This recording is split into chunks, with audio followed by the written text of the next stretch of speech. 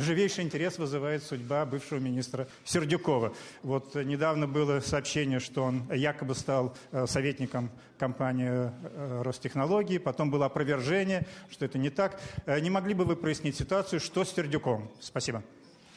Что касается внутри российской проблематики и скандалов вокруг Министерства обороны, очень жаль, что они возникли. И, как вы знаете, я принял, принял решение отстранить министра Сердюкова от занимаемой должности. Именно, того, что, именно потому, что э, возникли сомнения в способности его как министра руководить процессами, связанными с собственностью. Э, но ни следствие, ни суд тем более – никаких каких-то претензий личных к Сердюкову не предъявляют. И я хочу обратить на это ваше внимание. Это значит, что это обще, общецивилизационная практика. Человек считается невиновным до тех пор, пока суд не определит его виновность. Ну и что?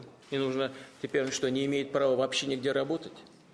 А, обращаю ваше внимание, что работа советника не связана ни с управлением собственностью, ни с управлением какими-то трудовыми коллективами. Это чисто экспертная работа.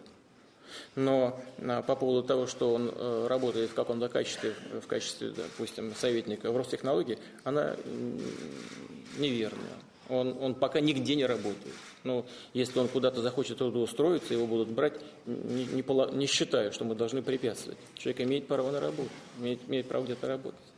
У нас же не 37 год.